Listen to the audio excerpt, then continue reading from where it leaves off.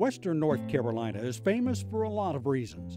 How about those beautiful vistas that seem to go on forever? The mountain region is also known for its Christmas trees. Lots and lots of Christmas trees. And how about cheese? Yep, I said cheese. Take a trip with me to the Ashe County town of West Jefferson. That's where you'll find the oldest cheese making facility in North Carolina, the Ashe County Cheese Company.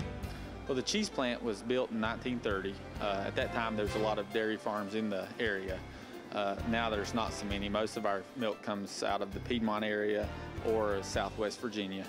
Um, but uh, it was built by the Kraft Company, and Kraft owned it for up until the mid 80s. And uh, at that time, uh, some individuals bought it, and uh, the current owners have had it since 90, 1994. By the way, if you've never seen cheese made, this place shows you how it's done. They've got a viewing room where you can watch it happen. Even for a small operation, the Ashe County Cheese Company isn't making just a little bit of cheese here and there.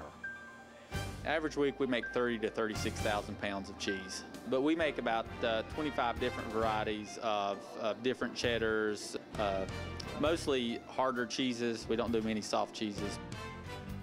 The basics of making cheese haven't changed.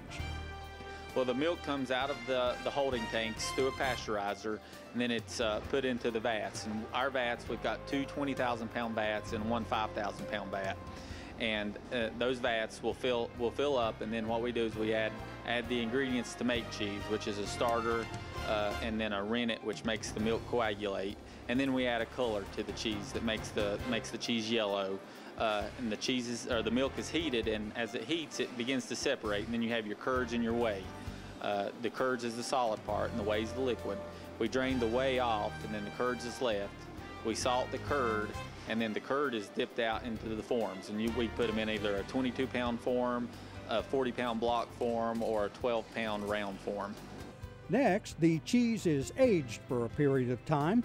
Ashe County cheese makes mostly cheddar, from mild to sharp to extra sharp.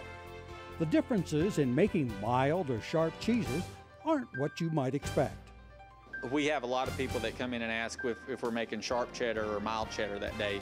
Well, all fresh cheddar is mild cheddar, and as it ages, it gets sharper. It usually takes about a year to make a good sharp cheddar, uh, and then uh, and then after after a couple years, after two years, you usually call it super sharp or extra sharp, and then you can eh, you can call it by the age of the cheese, a three-year-old cheddar or a four-year-old cheddar, and it just gets sharper and sharper. And you can age cheddar cheese up to 10 to 15 years, and it just gets sharper and sharper.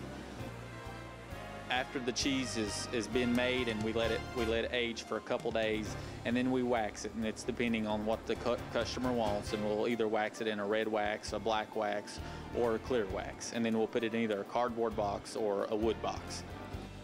After packaging, some of the cheese is shipped out to retail locations, and some of it goes right across the street to the Ashe County Cheese Store.